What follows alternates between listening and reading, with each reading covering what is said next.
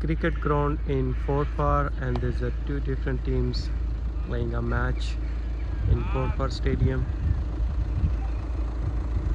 There's a few viewers in there as well. And uh, there's some the restaurant and sitting area on this side and there's a scoreboard over there I'm standing a little bit far away on the other side of the ground so cannot see clearly